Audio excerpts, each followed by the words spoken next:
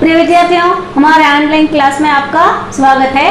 हम पिछले क्लास में बसंत की सच्चाई इस पाठ के दो दृश्य दो, दृश्य का सारांश समझे थे। अब हम तीसरे दृश्य के सारांश पाएँगे। तीसरा दृश्य स्टेशन पर एक बच्चे घर के अंदर के ओसारे का दृश्य। अंदर ಈ ಒಂದು ಎರಡು ದೃಶ್ಯಗಳಲ್ಲಿ ನಾವು ಹಿಂದಿನ ತರಗತಿಗೆ ಎರಡು ದೃಶ್ಯಗಳಲ್ಲಿ ನಾವು ಬಸಂತ ಮಾರುಕಟ್ಟೆ ಒಂದು ದೃಶ್ಯ ನೋಡಿದ್ವಿ. ಅಲ್ಲಿ ಈ ಬಸಂತ ಕೆಲವೊಂದು ವಸ್ತುಗಳನ್ನು ಮಾರಾಟ ಮಾಡುವಂತಹ ದೃಶ್ಯ. ಅಲ್ಲಿ ಒಬ್ಬ ಯಾರು, ಪಂಡಿತ್ ರಾಜ್ಕಿಶೋರ್ ಅಂತಕ್ಕಂಥ ವ್ಯಕ್ತಿ ಬಂದು ಆ ವಸ್ತುಗಳನ್ನು ಖರೀದಿ ಮಾಡಲ್ಲ ಖರೀದಿ ಮಾಡಿಬಿಟ್ಟು ಅವನಿಗೆ ದುಡ್ಡನ್ನು ಕೊಟ್ಬಿಟ್ಟು ಹೋಗ್ತಾರಲ್ವ ಅವನು? ಚಿಲ್ಲರೆ ತರೋದಕ್ಕೆ ಹೋದವನು ಮತ್ತೆ ಬರೋದಿಲ್ಲ ಅವನಿಗೆ. ಎರಡನೇ ದೃಶ್ಯದಲ್ಲಿ ಅಲ್ಲಿ ಏನಾಗಿರ್ತಪ್ಪ ಅಂತಂದ್ರೆ ಬಸಂತ್ ಚಿಲ್ಲರೆ ತರೋದಕ್ಕೆ ಹೋದಾಗ ಅವನಿಗೆ ಮೋಟಾರ್ ದುರ್ಘಟನೆ ನಡೆಯುತ್ತಲ್ವಾ? ಆ ದೃಶ್ಯ ಹಾಗೇನೆ ರಾಜ್ಕಿಶೋರ್ ಅವರು ರಾಜ್ಕಿಶೋರ್ ಅವರು ಅವರ ಮನೆಗೆ ಹೋಗ್ಬಿಟ್ಟು ಏನು ಮಾಡ್ತಾರೆ ಅಂತಕ್ಕಂಥ ಒಂದು ದೃಶ್ಯ ಒಂದು ಸಾರಾಂಶವನ್ನ ಈ ಒಂದು ಮೂರನೇ ದೃಶ್ಯದಲ್ಲಿ ನಾವು ನೋಡೋಣ ವಿದ್ಯಾರ್ಥಿಗಳೇ. ಆ, ಜಮೀನ್ ಪರ್ ದರಿ ಬಿಚ್ಚಿ ಹೇ ಅಂದ್ರೆ ಆ ಒಂದು ಎಂತಹ ದೃಶ್ಯ ಅಂತಂದ್ರೆ ಅಲ್ಲಿ ಮೂರನೇ ದೃಶ್ಯದಲ್ಲಿ ಎಂತಹ ಒಂದು ಸೀನಪ್ಪ ಅಂತಂದ್ರೆ ಬಚ್ಚೆಗರ್ ಅಂದ್ರೆ ಒಬ್ಬ ಹುಡುಗ. ಆ ಹುಡುಗ ಒಂದು ಮನೆಯ ಒಂದು ಹಜಾರ ಅಂತ ಏನ ಕರಿತೀವಿ?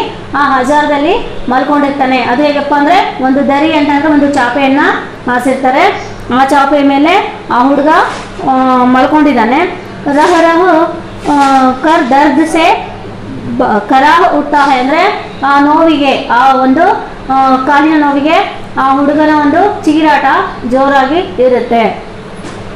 ಪ್ರತಾಪ್ ಅವ್ರ ರಾಜ್ಕಿಶೋರ್ ಕ ಪ್ರವೇಶ್. ಅಲ್ಲಿಗೆ ರಾಜ್ಕಿಶೋರ್ ಮತ್ತೆ ಬಸಂತ್ ನಮ್ಮ ತಮ್ಮ ಪ್ರತಾಪ್ ಇಬ್ರು ಪ್ರವೇಶ ಆಗುತ್ತೆ.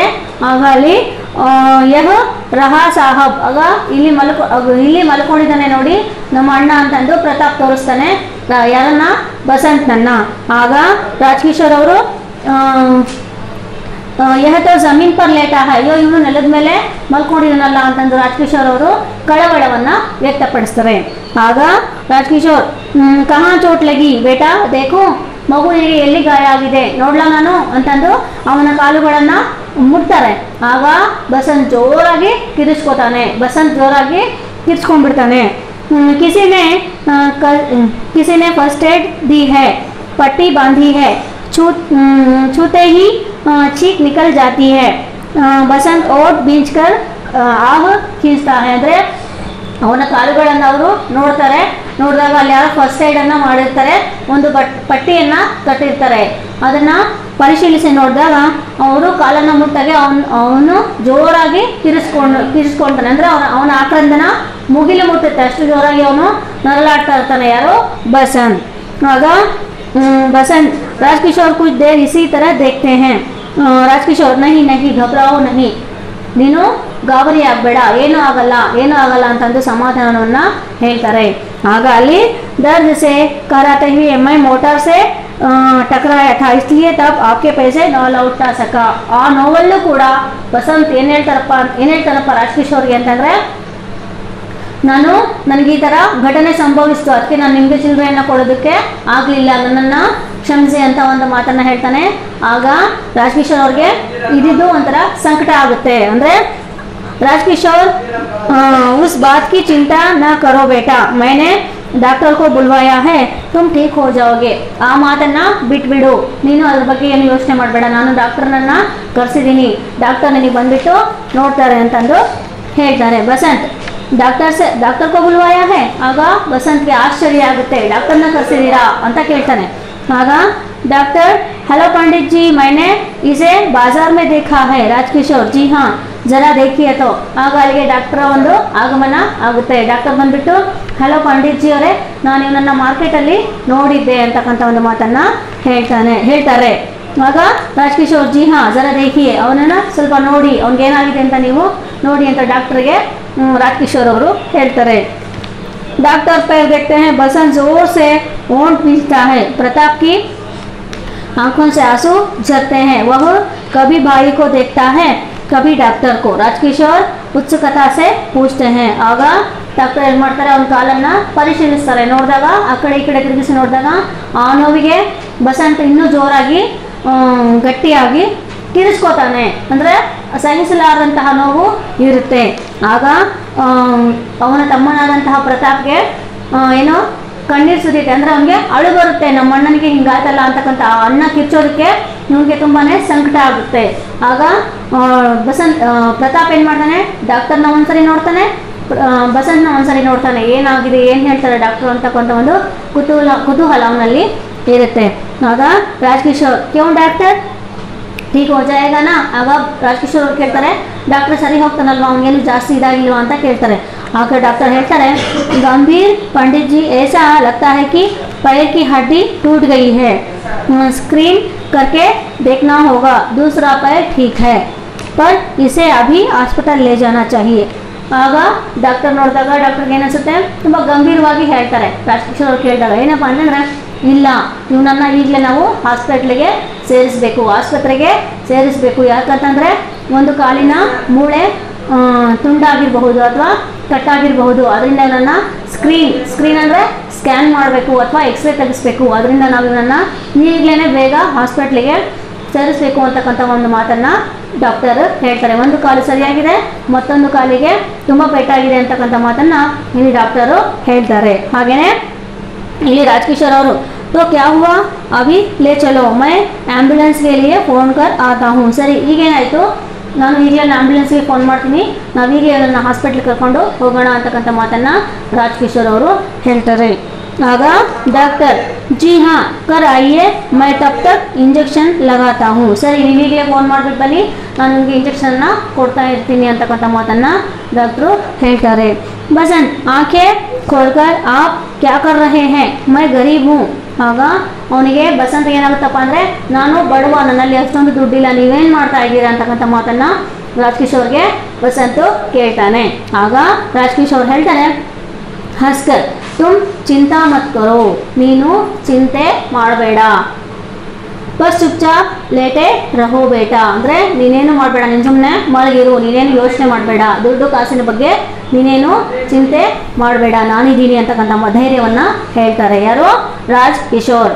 ಡಾಕ್ಟರ್ ಸಾಹಬ್ ಜಬ್ ತಕ್ ಮೈ ನಹಿ ಆತ, ಆಪ್ ಯಹಿ ರಹೆ.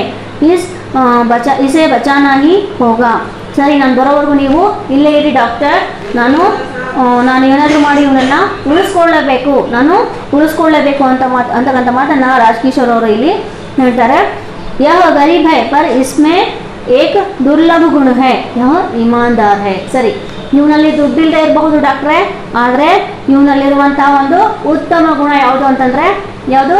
ಪ್ರಾಮಾಣಿಕತೆ. ಇಮಾನ್ದಾರಿ ಮತ್ಲ ಪ್ರಾಮಾಣಿಕತೆ. ಅಂದರೆ ಇಲ್ಲಿ ಇವನಲ್ಲಿರುವಂತಹ ಒಂದು ಗುಣ ಯಾವುದು ಅಂತಂದ್ರೆ ಇವನು ಬಡವ ಆಗಿರ್ಬೋದು ಇವನಲ್ಲಿ ದುಡ್ಡು ಇಲ್ಲದ, ದುಡ್ಡು ಇಲ್ಲದೆ ಇರಬಹುದು, ಆದರೆ ಇವನು ಪ್ರಾಮಾಣಿಕ, ಇವನಲ್ಲಿ ಪ್ರಾಮಾಣಿಕತೆ ಅಂತಕ್ಕಂಥದ್ದು ತುಂಬ ಅವನ ಒಂದು ಪ್ರಾಮಾಣಿಕತೆ ಅಂತಕ್ಕಂಥದ್ದು ಇವನಲ್ಲಿ ತುಂಬಾ ಒಳ್ಳೆಯ ಗುಣ ಇದೆ. ಅದನ್ನು ನಾನು ಇವನ ನಾನು ಇವನನ್ನ ಉಳಿಸ್ಕೊಳ್ಳಬೇಕು. ಹಾಗೆಯೇ ಡಾಕ್ಟರ್ ಪ್ರತಾಪ್ ಕಿ ಸಹಾಯತಾ ಸೆ ಇಂಜೆಕ್ಷನ್ ತಯಾರು ಕರ್ತೇನೆ ಡಾಕ್ಟರ್ ಏನು ಮಾಡಿದ್ರು? ಇಂಜೆಕ್ಷನ್ ಕೊಡೋದಕ್ಕೆ ಪ್ರತಾಪ್ನ ಜೊತೆ ಸೇರಿಬಿಟ್ಟು ಇಂಜೆಕ್ಷನ್ ಕೊಡೋದಕ್ಕೆ ತಯಾರಿಯನ್ನ ಮಾಡ್ಕೊಳ್ತಾರೆ ಯಾರು ಡಾಕ್ಟರ್ ಇವರು ರಾಜ್ಕಿಶೋರ್ ಅವರು ಆಂಬ್ಯುಲೆನ್ಸ್ಗೆ ಫೋನ್ ಮಾಡೋದಕ್ಕೆ ಹೋಗ್ತಾರೆ ಬಸಂತ್ ಆಂಖೆ ಬಂದ್ ಕರ್ಲೇತಾ ಇಂಜೆಕ್ಷನ್ ಮಾಡುವಾಗ ಪ್ರತಾ ಬಸಂತು ಕಣ್ಣನ್ನು ಮುಚ್ಕೊಳ್ತಾನೆ क्षण भर के लिए उसके मुख पर शांति और कृतज्ञता उभर आती है ಒಂದು ಕ್ಷಣ ಮಾತ್ರದಲ್ಲಿ ಅವನಲ್ಲಿ ಆ, ಬಸಂತ್ನಲ್ಲಿ ಮುಖದಲ್ಲಿ ಒಂದು ಶಾಂತಿಯ ಭಾವನೆ, ಅಂದರೆ ಆ ನೋವಿನ ಒಂದು ಭಯ ಹೊರಟೋಗಿ ಅವನಲ್ಲಿ ಶಾಂತಿ ಅಂತಕ್ಕಂಥದ್ದು ಕಾಣಿಸುತ್ತೆ. ಏನೋ ಒಂಥರ ನಿಟ್ಟುಸಿರನ್ನು ಬಿಡ್ತಾನೆ. ಹಾಗೆ ಕೃತಜ್ಞತೆ, ಅಂದರೆ ರಾಜಕಿಶೋರ್ ಅವ್ರ ಬಗ್ಗೆ ಕೃತಜ್ಞತೆಯ ಭಾವನೆ ಅವನಲ್ಲಿ ಹುಟ್ಟುತ್ತೆ. ಡಾಕ್ಟರ್ ಇಂಜೆಕ್ಷನ್ ಲಗಾತೆ ಹೇ, ಬಸಂತ್ ಓಂ ಬೀಸ್ತಾ ಹೇ. ಡಾಕ್ಟರ್ ಇಂಜೆಕ್ಷನ್ ಇಂಜೆಕ್ಷನನ್ನು ಕೊಟ್ಟರು ಪ್ರತಾಪ್ ಭಾಯಿ ಕಾ ಥಾಮ್ತಾ ಹೇ, ಅವ್ರ ಪರ್ದಾ ಗಿರ್ತಾ ಹೇ. ಪ್ರತಾಪು ಅವನಿಗೆ ಇಂಜೆಕ್ಷನನ್ನು ಕೊಡಬೇಕಾದ್ರೆ ಅಣ್ಣನ ತಲೆಯನ್ನ ನೇವರಿಸ್ತಾನೆ. ಆಗ ಪ್ರತಾಪು ಹಾಗೆ ನಿದ್ದೆ ಮಾಡ್ತಾನೆ.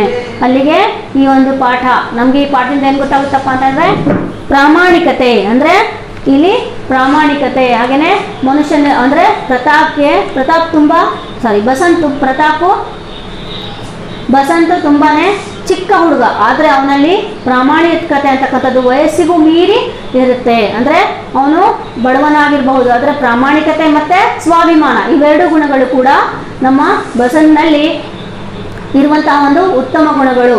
ಹಾಗೆಯೇ ವಿದ್ಯಾರ್ಥಿಗಳೇ, ನಾವು ನಾವು ಅಷ್ಟೇ, ನಮ್ಮ ಜೀವನದಲ್ಲಿ ನಾವು ಪ್ರಾಮಾಣಿಕತೆ ಮತ್ತು ಸ್ವಾಭಿಮಾನ ನಮ್ಮ ಬಗ್ಗೆ ನಾವು ಗೌರವವನ್ನು ಹೊಂದಿರಬೇಕು, ಅಲ್ವಾ? ನಾವು ನಮ್ಮನ್ನು ನಾವು ಗೌರವಿಸಿದಾಗಲೇ ನಮ್ಮನ್ನು ಬೇರೆಯವರು ಗೌರವಿಸೋ ಗೌರವಿಸೋದಕ್ಕೆ ಸಾಧ್ಯ ಆಗುತ್ತೆ. ಅದರಿಂದ ಇಲ್ಲಿ ನಾವು ಏನನ್ನ ಕಲಿತೀವಪ್ಪ ಅಂತಂದರೆ ನಾವು ಪ್ರಾಮಾಣಿಕತೆ ಮತ್ತು ಪ್ರಾಮಾಣಿಕತೆ ಮತ್ತೆ ಸ್ವಾಭಿಮಾನದ ಈ ಗುಣಗಳ ಬಗ್ಗೆ ನಾವು ಈ ಪಾಠದಲ್ಲಿ ನಾವು ತಿಳ್ಕೊಂತೀವಿ. ಹಾಗೇನೆ ರಾಜ್ ಕಿಶೋರ್ ಅವರ ಮಾನವೀಯತೆ. ರಾಜ್ ಕಿಶೋರ್ ಅಂದ್ರೆ ಬೇರೆ ಯಾರಾದರೂ ಆಗಿದ್ದಿದ್ರೆ ಅವನೆಲ್ಲ ಮಾರ್ಕೆಟಲ್ಲಿ ಸಿಕ್ಕದ, ಅವನಲ್ಲಿ ನಾನೇನೋ ಒಂದು ವಸ್ತು ಕೊಂಡ್ಕೊಂಡಿದ್ದೆ ಚಿಲ್ಲರೆ ಹೋದ್ರು ಹೋಯ್ತು ಅಂತ ಸುಮ್ಮನೆ ಹೋಗ್ಬೋದಾಗಿತ್ತಲ್ವಾ ಆದರೆ ಇಲ್ಲಿ ಅವರು ಯಾರೋ ಹುಡುಗ, ಸಂಬಂಧನೇ ಇಲ್ಲ. ಆದರೂ ಕೂಡ ಅವರು ಒಂದು ಮಾನವೀಯತೆ ದೃಷ್ಟಿಯಿಂದ ಆ ಹುಡುಗನನ್ನ ಕರ್ಕೊಂಡೋಗಿ ಅವನ ಒಂದು ಕಾಲುಗಳನ್ನು ಕಾಲುಗಳು ಗುಣ ಆಗೋದಕ್ಕೆ ಚಿಕಿತ್ಸೆಯನ್ನು ಕೊಡ್ತಾರಲ್ವ? ಇಲ್ಲಿ ರಾಜಕಿಶೋರ್ ರಾಜ್ ಅವರ ಮಾನವೀಯತೆ, ಇಲ್ಲಿ ವಸಂತನ ಒಂದು ಪ್ರಾಮಾಣಿಕತೆ ಹಾಗೆ ಸ್ವಾಭಿಮಾನ. ಈ ಒಂದು ಮೂರು ಗುಣಗಳನ್ನು ನಾವು ಈ ಪಾಠದಲ್ಲಿ ತುಂಬ ಚೆನ್ನಾಗಿ ಅರ್ಥ ಮಾಡ್ಕೋಬಹುದು. ವಿದ್ಯಾರ್ಥಿಗಳೇ, ಈ ಒಂದು ಪಾಠದ ಒಂದು ಸಾರಾಂಶವನ್ನು ತಿಳ್ಕೊಳ್ಳೋದಕ್ಕೆ ಈ ವಿಡಿಯೋ ನೋಡ್ತಾ ನೀವು, ಪುಸ್ತಕದಲ್ಲಿ ನೀವು ಸಾಲುಗಳನ್ನು ಗಮನಿಸ್ತಾ ನೀವು, ಓದ್ಕೊಳ್ತಾ ಪಾಠವನ್ನು ಅರ್ಥ ಮಾಡ್ಕೋಬೇಕು, ಅಲ್ವಾ? ಹಾಗೆಯೇ ಈ ಒಂದು ಪಾಠದಲ್ಲಿ ಬರುವಂತಹ ಶಬ್ದಾರ್ಥಗಳನ್ನು ನೀವು ಗಮನಿಸಿ ಈ ಪಾಠವನ್ನು ಅರ್ಥ ಮಾಡ್ಕೋಬೇಕು. ನಮ್ಮ ಮುಂದಿನ ಪಾಠ ಪ್ರವಚನಗಳಿಗಾಗಿ ನೀವು ನಮ್ಮ ಮಕ್ಕಳಿಗಾಗಿ ಶಿಕ್ಷಣ ಈ ಚಾನಲನ್ನು ಹಿಂದೆ ಸಬ್ಸ್ಕ್ರೈಬ್ ಮಾಡಿ. Thank you.